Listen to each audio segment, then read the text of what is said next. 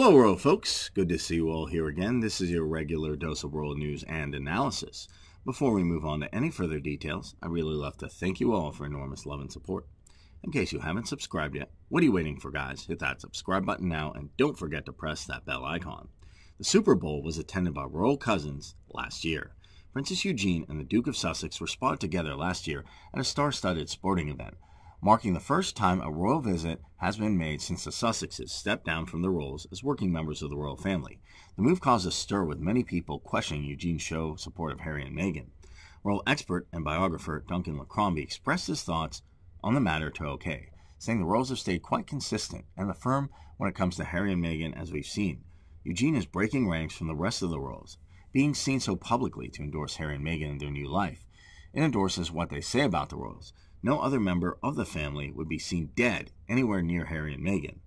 Crombie went on to say that she believes Eugenie may be Harry's only hope being brought back into the fold, should things not work out in paradise. By seeing Eugenie there, looks as though the only link he still has with his family, he said. Jean and Harry share a close relationship, which the Duke wrote about in his memoir. He said that his cousin was the first member of the family to welcome Meghan into the fold.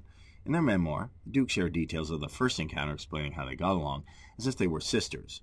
As for the upcoming king's coronation on May 6th, it's currently unknown whether Harry and Meghan will attend.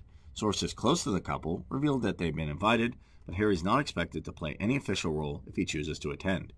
Despite the controversy surrounding the Sussexes, Princess Eugenie's support for her cousin has not wavered. Her public display of affection towards Harry and Meghan speaks volumes about her character and loyalty to the family. As the Crombie put it, Eugene is breaking ranks. For some, that could be seen as a breath of fresh air in the family, often characterized by strict adherence to tradition and protocol. Remains to be seen how the rest of the family will react to Eugenie's continued support of Harry and Meghan. But one thing's clear the bond between these two cousins is unbreakable, and their love for each other transcends any drama and controversy that may surround them. So, what do you guys think? How do you think Eugenie's public support for Harry and Meghan is viewed by other members of the royal family? Write it in the comment section below. Let me know what you think. Until then, I guess we'll just have to wait and see if things turn out to be something after all. Also, if you never want to miss any of my sizzling royal updates like this, subscribe and press that bell icon. It's as simple as that. Thank you so much.